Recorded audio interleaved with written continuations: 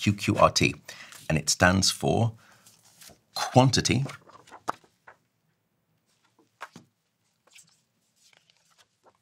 quality,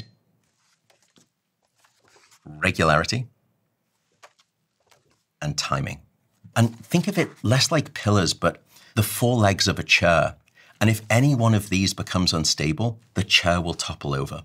So I'll probably start with the one that people have heard me bang on about, which is quantity seven to nine hours. This myth of eight hours is nonsense. It's a wonderful range, seven to nine hours. And what we know is that using that sweet spot of seven to nine hours, when you get less than that, the shorter your sleep, the shorter your life. Fuck. Short sleep predicts all cause mortality.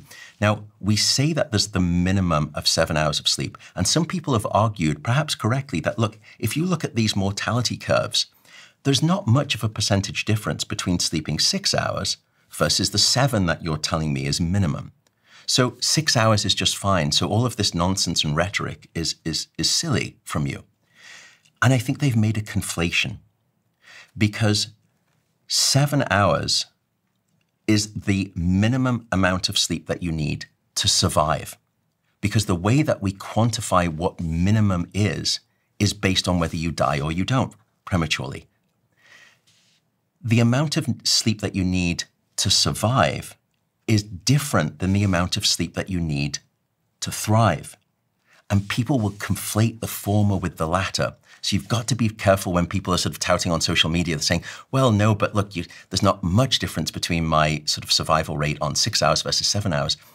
You may have a, just as much of a long life, but the quality of your life will be very different. So that's quantity seven to nine hours.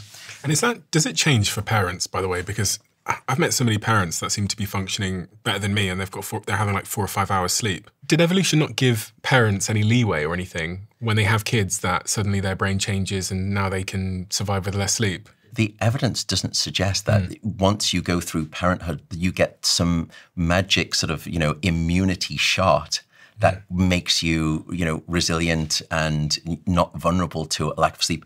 And in some ways, you could argue because we used to you know, live as a collective tribe and we would share duties, at that point, you know, Mother Nature mm. doesn't really worry too much about you now because you've already procreated and you've passed on your genetic code. So you are now the the sort of the you know oh, the yeah. not particularly well you know cared for individual through evolution. It's your offspring Damn. that gets. So it sacrifices you in a way. I mean, that's what we see in the animal kingdom. Did you see that documentary about the octopus? Yeah, it, it was just, I mean, I thought it was a beautiful documentary, but. Um, the TLDR for anyone that hasn't seen it is once the octopus, and I'm going to completely butcher this, so please ignore. Um, once the octopus has given birth, it dies. Basically, it doesn't move out of that hole and it dies. Is that rough? Well, I don't know if, if it dies, but its level of, of active life I searched, does the octopus die after reproduction? And it says yes. Female octopuses die after their eggs hatch. After laying eggs, a female stops eating and devotes all of her, her energy to protecting and oxygenating them until they hatch. Once they do, she dies shortly after, a process called semiluliparity, meaning they re reproduce only once. This death is triggered by hormone changes from the optic gland, similar to mammalian pituitary glands. And males die shortly after mating as well, usually within a few months. That is wild.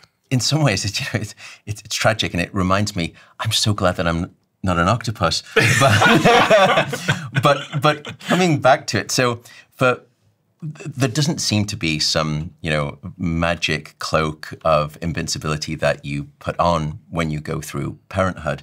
Certainly, what we know is that the number of individuals who can survive on six hours of sleep or less and show no impairment in either their brain or their body, rounded to a whole number and expressed as a percent of the population, is zero. So quantity matters, but it turns out that we got it wrong in thinking that was the only thing because then came quality. So QQRT. Quality is defined in sleep science as two things. The first is something that your sleep tracker will measure, which is the continuity of your sleep, meaning do you sleep in one or two nice long bouts throughout the night? That's good quality of sleep, nice continuous bouts, versus your sort of sleep is very fragmented by all of these awakenings. That's very poor quality of sleep. And the way that you can measure it in your sleep tracker is just by looking at the app, and there'll be something called sleep efficiency. Sleep efficiency is defined as the following Of the time that you're in bed, what percent of that time is spent asleep? And what we'd like to see is you north of 85% or above. So this is kind of like the user's guide to sleep trackers. What I want to see is 85% or more. If you're less than that, we need to have a conversation. That's number one, good quality of sleep. The second, which is what sort of what these trackers can't really do, but I can do in the sleep laboratory when you look like a spaghetti monster because I've put electrodes all over your head. I can measure the quality of your big, deep, slow brain waves of deep non REM sleep. And that is a second measure, the power of those big, slow brain waves. That's a second measure. And quality seems to be as predictive as quantity in making a difference, not just to your all cause mortality, but quality even more than quantity when it comes to mental health has been showing the bigger signal. So, again, it's not that quantity doesn't matter. You do have to get sufficient amounts of sleep, but quality, as much as quantity, should be paid attention to. And I haven't said that enough. Mm-hmm. The next is where we came to in our sort of three things that I was saying. The first is digital detox. Then the next thing I said is regularity. This is somewhere where I've also changed my mind on. I've doubled down on regularity. There was a study that also came out of that same data set that I described. It's called the UK Biobank data. And now they didn't look at 90,000 individuals, but they looked at 60,000 individuals. And they decided that they were going to compare and split them into quartiles. So the most regular to the second most regular to then sort of the third most regular, and then the final quartile was those who were the least regular. And what does regular mean in this context? Good question. Highly regular individuals, plus or minus 15 minutes in terms of going to bed and waking up at the same time. In other words, a total mm. wiggle room of 30 minutes. Oh, okay. So if I'm always going to bed at 9 p.m. and I do that five days in a row, I'm yeah. regular timing, really. So, so it's it's regularity in terms of when you're going to bed and waking up. So it, okay. you're right. It's timing in a way, but okay. I'll come on to why there is a separate T for timing in just a second. But regularity here was okay plus or minus so let's say you go to bed at 8.45 p.m one night and then 9 and then 9 10 p.m and then you're back to 8 that's beautiful tight timing. I like that. Whereas the, those people who were least regular, they were 90 to 120 minutes disparate. They were going to bed, let's say at 11 one night, then 1 a.m. the next night, then they were going to bed at 10:30 p.m. and then they were going to bed at 12:30. They were all over the map. So what they found was that those people who were most regular versus least regular, so they compared the extremes of these two, those people who were most regular had a 49% relative decrease in all cause mortality. So they were 49% less likely to prematurely die than those people who were least likely to die. They had a 39% cancer mortality risk reduction. Great. They had a 57% cardiometabolic disease risk reduction. So that was stunning. That regularity was incredibly powerful as a predictive signal of your different forms of mortality. That wasn't the best part of the paper, though. They had also measured quantity as well as regularity in these same individuals. So then they decided to say, well, I'm going to take our measure of quantity and regularity and we're going to put them both in the same statistical bucket and do a Coke Pepsi challenge to see which one wins out in terms of predicting all cause mortality. We all bet in the sleep field, or at least I did, it was going to be quantity. I was wrong. Regularity beat out quantity in predicting all cause mortality, and by quite some margin. Now, that doesn't mean that you can now go away and say, I'm going to start sleeping four hours, but incredibly consistent four hours. You need both quantity and quality. But goodness, does regularity seem to carry a massive signal? So, coming back to those three things, I would say digital detox, just go to bed and wake up at the same time. And the final thing is light. In this modern world, we are a dark, deprived society. We get what I call junk light at night. So you've heard of junk DNA. Well, we get junk light at night.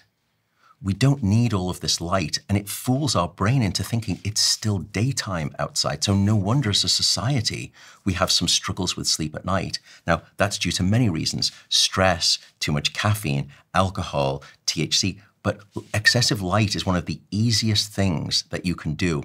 So, for the next seven days, just do me this experiment if you can. Set an alarm one hour before your normal bedtime. When that alarm goes off, turn off, and I, I do this myself, turn off almost all of the lights in your house. When you say all of the lights, do you mean the little red light on my smoke alarm or No, that's fine. But you know, so my wife and I, one hour before bed, almost all the lights. We've got sort of this little set of this sort of light that goes around the television, the back of the television, so it kind of looks like the television's cool and illuminated. I will set that down to about 5% of brightness and all of the rest of the lights out. So you can kind of just still see some illumination. So I'm not sort of, you know, looking desperately uncool in, uh, in, in front of her when I'm tripping over things because it's complete black, you know, then start cooling the house or the room as best you can to around about 67, 68 degrees Fahrenheit or about 18 degrees Celsius. We can speak about temperature, but just do this experiment for the next seven days, one hour before bed, the alarm goes off, you switch off all of the lights, and ask the following question Do you feel sleepier? Is it soporific? Does it make you feel more sleepy as a result? But don't stop there. What you've gone and done is the first positive experiment, which is you've gone from the no intervention, lights are on, to then the Matt's intervention, which is now the lights are off for one hour before bed.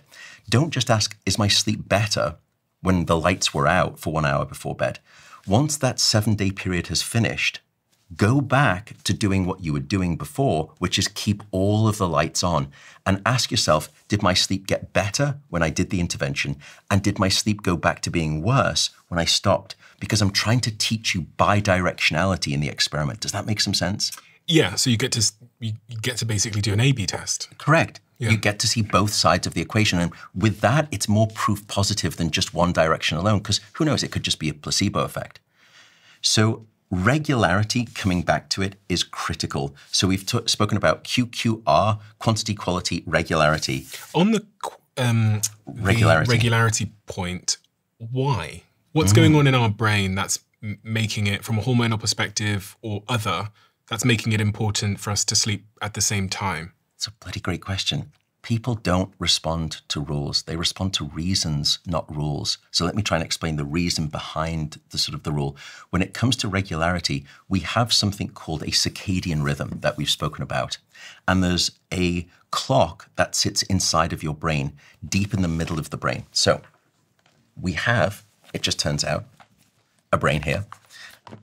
Lovely. Okay, so we've got one of these hemispheres here, and then I'm just going to take out what we call the subcortical sections. So these are the areas that are below the subcortex. So here is the brain. So this is the front of the brain, the back of the brain, top of the brain, and here's the brainstem. And it turns out that right in the middle of the brain, right here, there's an area called the hypothalamus. Now, here, this structure here, this is the thalamus. This is the sensory gate of your brain. So all of your five senses, sound, touch, taste, smell, they all flood into this gate called the thalamus. And then the thalamus will decide whether it sends those sensory signals up to your cortex. And when it sends the signals up to your cortex, you start processing them and you become consciously aware of the external world. Now, as we're falling asleep, just as an aside, what's interesting is that this gate, the sensory gate, the thalamus, once we start to fall asleep, the gate will close shut. Now, your eyes are technically still seeing, your ears are still hearing, your tongue is still tasting. But because the gate of the thalamus, the sensory gate, closes shut, those signals that are coming into your brain are no longer sent up to your cortex. So you stop perceiving the outside world, which is just simply a different way of saying you've fallen asleep. Now, the hypothalamus, you've heard of hypo, sort of hypertension or sort of, you know, hypothermia. That means lower. So here's the thalamus. This area here is called the hypothalamus. And it's a tiny structure, but within that structure contains a nucleus. And that group of cells, the nucleus, has a fancy term, and it's called the suprachiasmatic nucleus. But the suprachiasmatic nucleus is your master 24 hour clock. Every cell in your body has a clock inside of it. But this is the master clock. It's like Lord of the Rings. There's one ring to rule them all. Mm-hmm. Well, there's one clock to rule them all. And here in the suprachiasmatic nucleus, you get the 24 hour rhythm of being awake and being asleep, being awake and being asleep. How does your brain keep quartz like precision 24 hour clock time? How does it do that? The way it does that is that it uses signals such as light and dark from, from your eyes. From your eye. And so when light comes through the retina, it tells the hypothalamus it's daytime and therefore you should be awake. And its rhythm starts its awesome sort of upswing.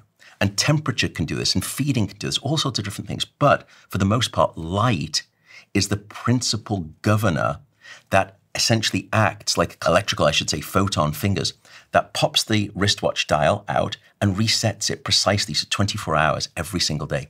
Because if you're left in the dark with no signals of light, your clock isn't precise. It drifts to about 24 hours and 15 minutes. So you start going forward a little bit every single day if you go into a cave, and people have done this experiment. The thing that keeps it precise is light. So you need light to keep a beautiful 24 hour rhythm. One of those things that's under the control of your 24 hour rhythm is your sleep wake cycle. What if I'm doing exercise? Exercise is a wonderful entrainer of your circadian rhythm as long as you're doing it at the right time. So if you're starting to exercise at three or four in the morning, that's not good because that's an activity signal that's going to confuse the brain into thinking it's the active period, which is normally, because we're a diurnal species, the day.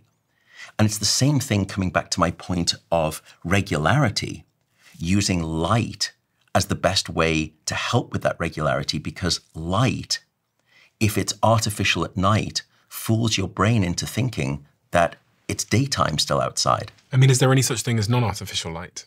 I mean, I guess with the sun, but I mean, is there a type of light that I could use at night, like candles or something? Or yes, below 30 lux, right. is not going to necessarily do you a disservice, probably below 50 lux. Now, lux LUX is just a measure of light intensity, and you can download on the App Store a free lux meter. And if you're an idiot nerd like me, you're going all over the house at night and you're sort of putting it in different locations, you're seeing oh are there any kind of white spots here where, you know, the lux is too high.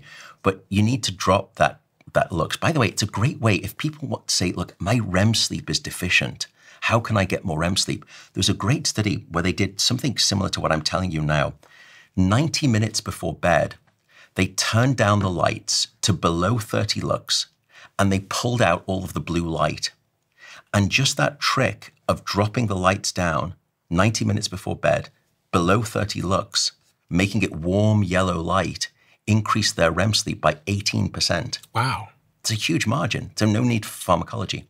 But to your question, why is regularity important? Well, I told you that light is one of the signals that can create regularity. It turns out that your behavior is another thing that will tell your brain.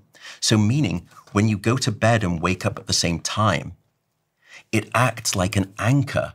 It anchors your circadian rhythm and it tells you, almost like a scene in a movie, this scene is now complete a new scene starts. This scene is complete, a new scene starts. So every time that you're going to bed at the same time and waking up at the same time, you are feeding the suprachiasmatic nucleus, the master 24 hour clock in your brain. You're feeding it signals of regularity. And when it feeds on signals of regularity, it improves the quantity and the quality of your sleep. Your circadian rhythm likes consistency. It likes regular signals. When you feed it signals of light, of activity, of waking up, going to bed, you improve the quantity and the quality of your sleep. That's the reason behind the underlying rule. So, having a TV in your bedroom is a terrible idea then, because if on that behavioral point, if I'm getting in bed, but then I'm staying up for three hours watching Netflix, my brain is going to be quite confused about like the behavioral pattern of what, of what I'm doing in my life. It's not going to associate the bed with sleep. It's going to associate the bed with movies. That's one of the problems that we call, it's called conditioned arousal,